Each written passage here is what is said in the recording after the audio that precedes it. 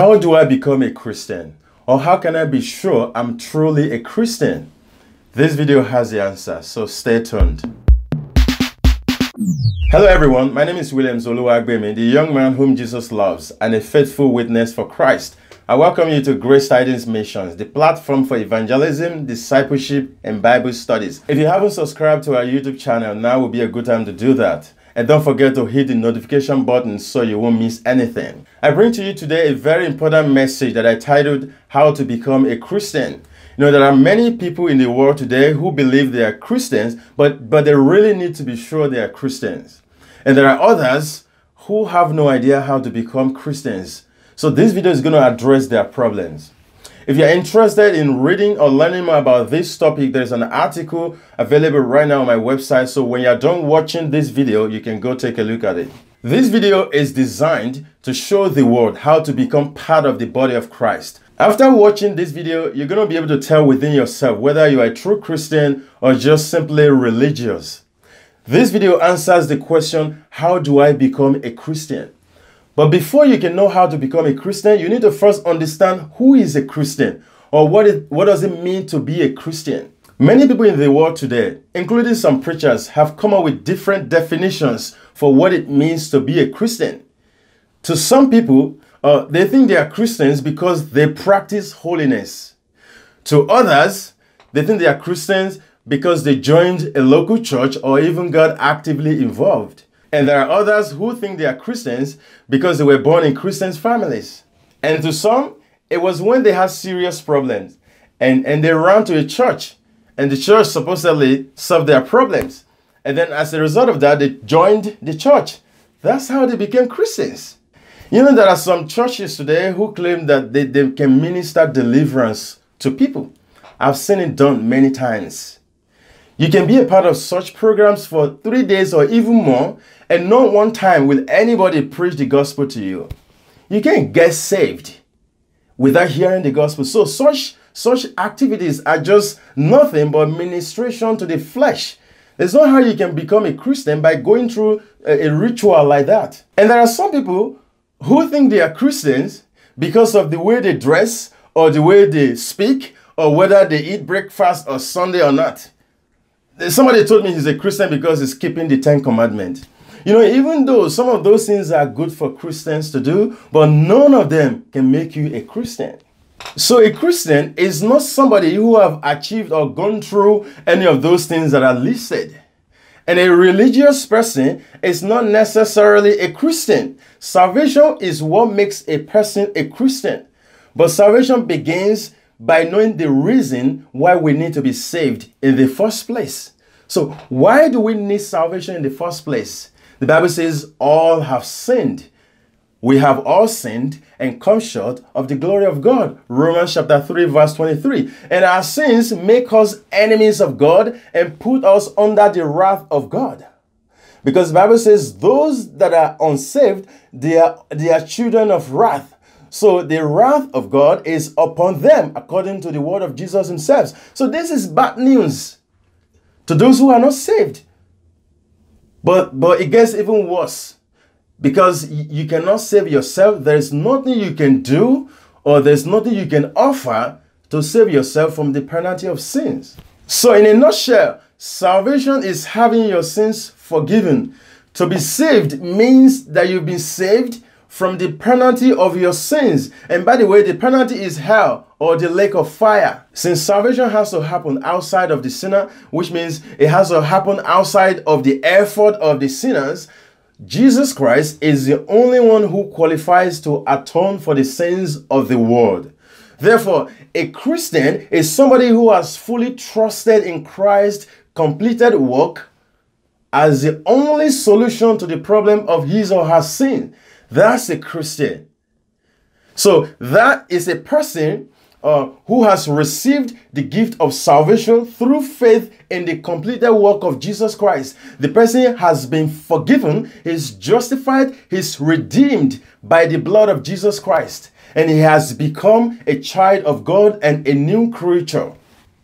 So his God, the Holy Spirit, according to the Bible, is blessed, is complete, is glorified in Christ, and he is in his body. and he has eternal life and he's always saved. That is a description of a Christian according to the Bible. But all this happened to us whether we are saved simply because we put our trust in Christ. We trust in his completed work, not by anything we do or by anything we can offer, but by simply believing what he did on our behalf. And this truth is written all over the New Testament. You begin from the Gospel of John. John chapter 1 tells us in verse 12 that as many as received him, to, to them gave he power to become sons of God. That's children of God. Even to them that believe on his name. And verse 13 says, Which were born not of blood, nor of the will of the flesh, nor of the will of man, but of God. That's what it means to be a Christian, that you've been born from above. That's something completely outside of you. You can't contribute anything to that. So the point is, you are not a, you are not a Christian until you have believed. You could be as religious as you possibly can. Nobody is considered part of the church until they have believed. Now you hear me saying believe, believe, believe. You just don't believe anything. You don't believe just anything. You believe a specific message that the Bible has given. And the Bible calls this the gospel. Remember, I'm not talking about how to live a Christian life here. I'm, I'm still talking about how to become a Christian. So I want you to follow me very, very carefully. So this is what you must believe that you have sinned. The Bible says all have sinned.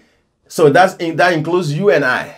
And we cannot do anything to save ourselves. I couldn't do anything to save myself. And you can't do anything to save yourself from the penalty of sin. So only Jesus can rescue us. Only Jesus can save us from the penalty of our sins. In Acts chapter 4, verse 12, we read that neither is there salvation in any other. For there is none other name under heaven given among men whereby we must be saved. So the way to receive salvation is through Christ. You have to abandon your own righteousness. You have to abandon your own holiness and run to the cross. So believe in the gospel of salvation. The gospel is very simple. It tells us what Jesus did because of our sins and what he did on our behalf and how we should respond. Now, among many passages in the New Testament, 1 Peter chapter 3 verse 18 tells us the gospel. It says, "For Christ also had once suffered for sins, the just for the unjust, that he might bring us to God, being put to death in the flesh, but quickened by the Spirit." And you can read similar message in 1 Corinthians chapter 15 from verse 1 through 4. The message of the gospel is very clear. It's very simple that we have sinned and there is nothing that we can do to save ourselves, and that Jesus Christ died for our sins. He was buried and he rose again the third day, according to the scriptures. And that is the simple message that we have to believe. So, nothing that we are required to do. All that is needed on our part is to just trust in Christ, believe that Jesus did all that for our sins. That is the gospel. So if you have not believed, you can't be saved. And if you are not saved, then you are not a Christian. God started putting people in the body of Christ from an event at Pentecost. It was recorded in the book of Acts. So on the day of Pentecost, the people listened to the message of the apostles. The message was delivered in a, in a rather miraculous way. The apostles spoke in diverse tongues, and that means different languages. And, and the people that were listening, they heard the language in their different languages, in their various languages. And what's even more amazing uh, about the miracle of tongues is the message that they were given by the tongues. Uh, the people that like to run to Acts chapter 2, if they feel like speaking in tongues, they don't tell people about this. There was a message that these people were giving, and the people that were listening to them heard what they were saying. They were not just speaking gibberish. So the, the people were wondering, what's going on? Are these people drunk?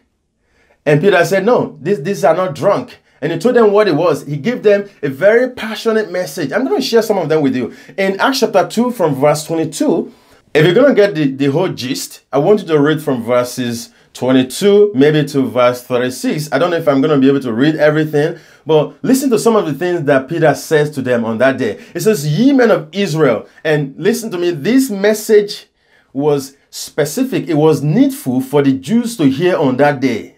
This is not the message that we preach today, but listen to how it's very unique to the Jews. It says, Ye men of Israel, Hear this word Jesus of Nazareth, a man approved of God among you by miracles and wonders and signs. Peter is still preaching. He says, which God did by him in the midst of you, as ye yourselves also know. So you witness them. It says, Him being delivered by the determinate counsel and foreknowledge of God, ye have taken, and by wicked hands have crucified and slain.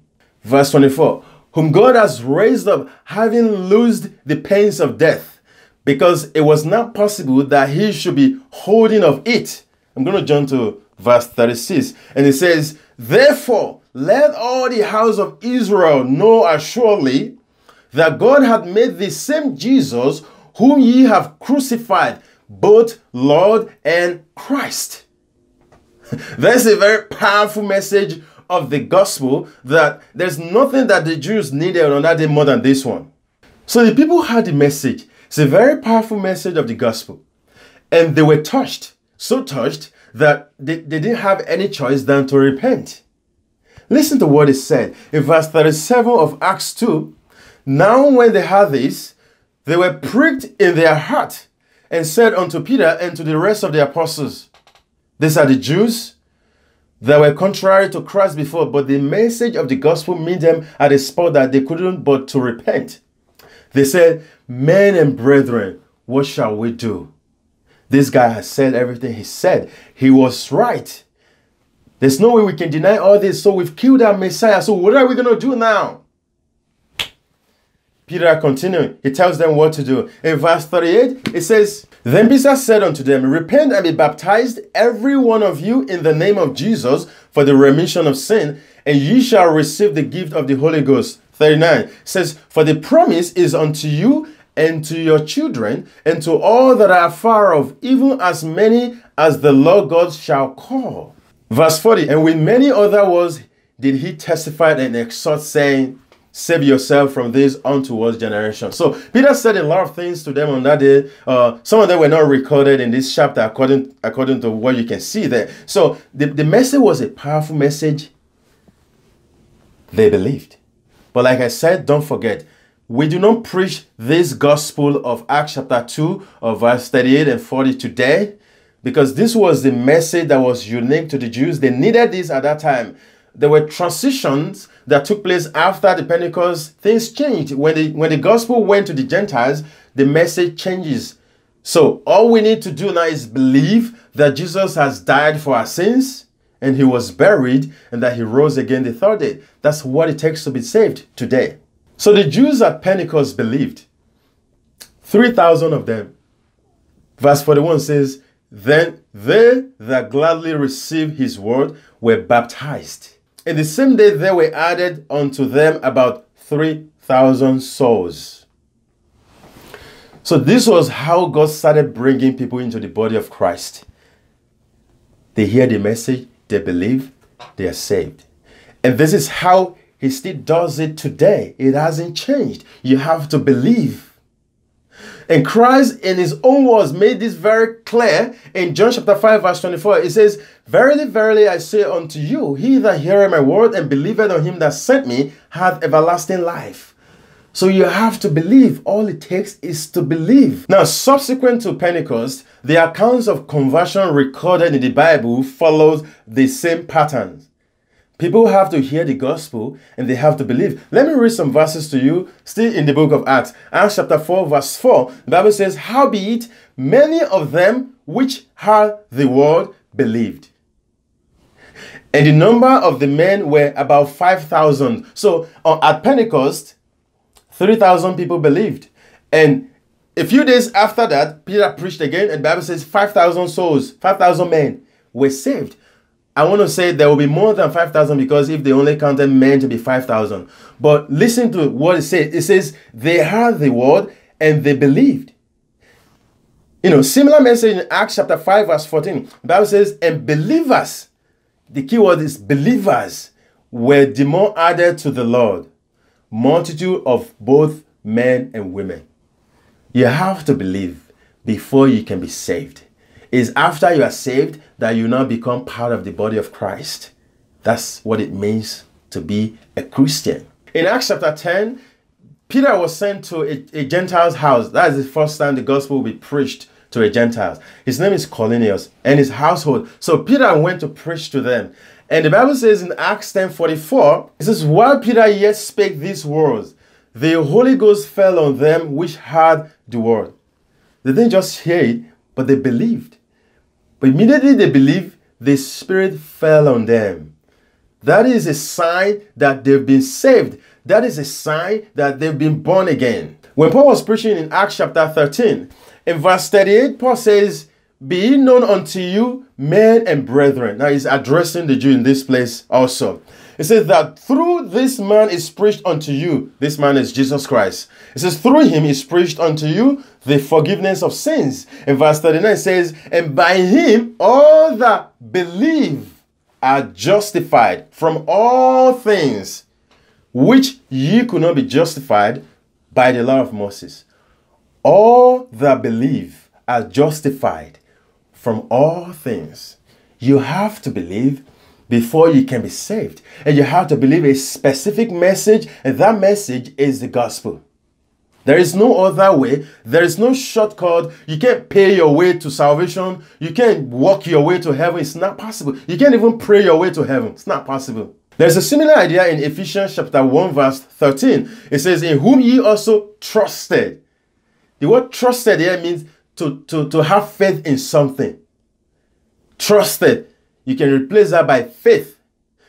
So you have faith in something. But in this in this case, is in somebody and that's Christ, in whom ye also trusted, after that ye had the word of truth, the gospel of your salvation. That is a message that you need to hear before you can be saved.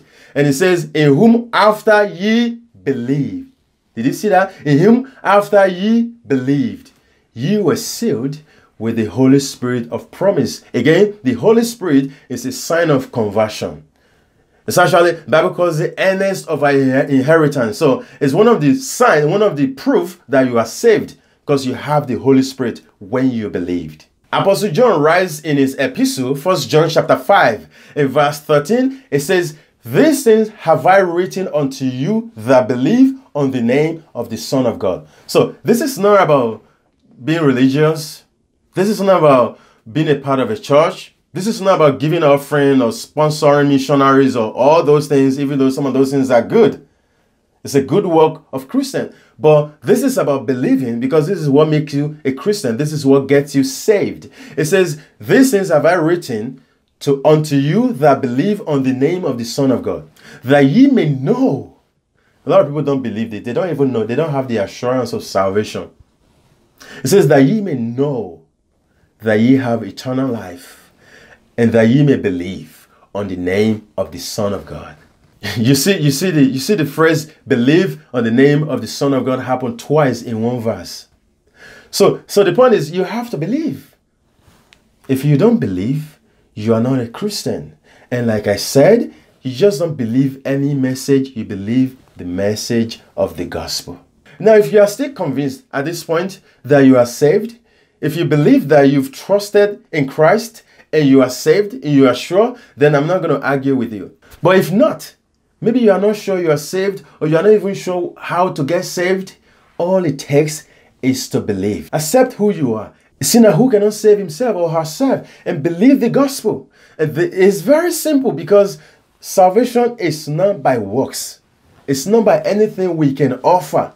It is wholly by faith in Christ alone. The Bible says when we believe and put our faith in Christ, in his completed work that we are saved, our sins are forgiven. And one of the things that happens is that you get the Holy Spirit at the moment when you believe. I know a lot of people don't believe in that.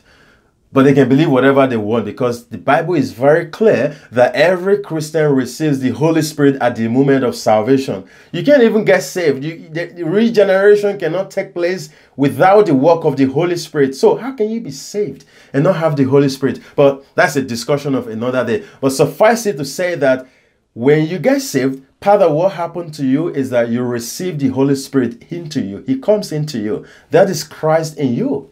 Now, finally, as a word of encouragement to those who are saved, to the Christians, you need to realize or keep in mind that sanctification is a work of the Holy Spirit in the life of the believer. It is a process by which the Holy Spirit conforms the believer to the image of Christ. And this is not achieved or accomplished by the believer's performance. The believer is only supposed to yield and submit him or herself to the leadership of the Holy Spirit and the authority of the scripture in his or her life.